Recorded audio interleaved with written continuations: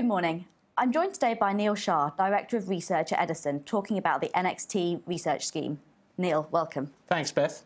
So, first question um, independent research on all NXT listed companies is a key design feature of the market. What are the benefits of an exchange facilitating uh, coverage of independent research on its listed companies?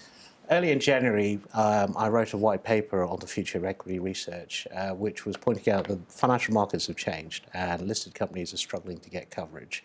Uh, and this is not just for small companies, but also for mid-size and even some of the larger companies.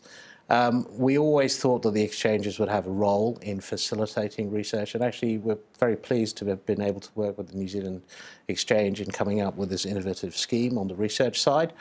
Um, the benefits, uh, I think, for an exchange providing an exchange scheme is that in the eyes of investors, it's often perceived as a higher value product uh, than research created out of other forms of uh, intervention, so paid for issuance, etc. So uh, I think that the exchanges um, learned uh, from other markets in terms of what is best practice and has adopted what I think is going to be quite a good scheme. And what type of research offering can investors expect from Edison?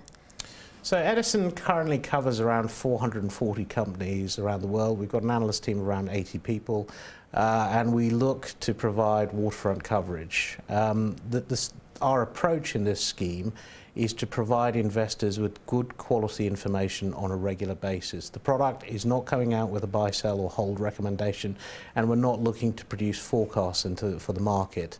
Um, what we are trying to do is kick the tires on the companies and give people a good understanding of where a company is trying to go, the management team behind it, the markets it's operating in, um, and any risks inherent within the business model. And we'll talk about earnings and how you might benchmark uh, the valuation, but not come up with a formal view on this.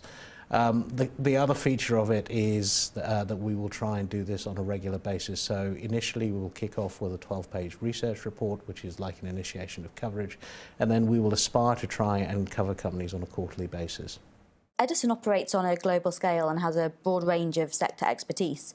How might this be applied to the analysis of New Zealand listed companies? Increasingly, we're seeing money being moved to a global rather than a regional mandate in terms of management. Um, we think more and more fund managers have to look at companies on a global basis.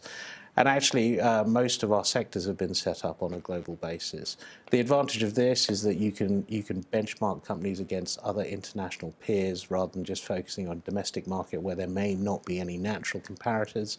It also allows us to bring that strength and depth of our analyst bench um, Um, to the coverage of this company. So we have very deep teams providing global coverage in, in, most of the sectors that we're operating in, and we're hoping that all of this will, will come to bear in the quality of the work that we put out.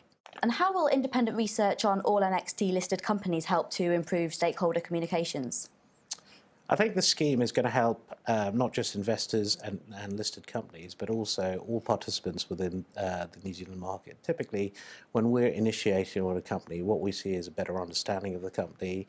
Companies are more likely to achieve fair value, uh, and also you tend to see an uplift in, in liquidity in the trading of the stocks. Now that is good for all participants in the market. And ultimately, I think if the market is successful, um, you know, investors are more likely to back these companies with growth capital.